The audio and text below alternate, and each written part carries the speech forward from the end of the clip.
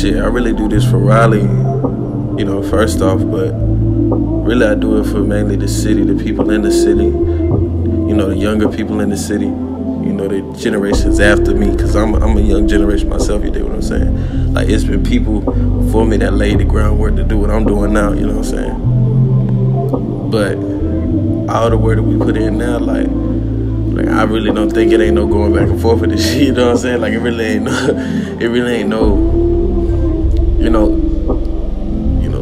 slight hesitation of what, what we do this for, you know what I'm saying?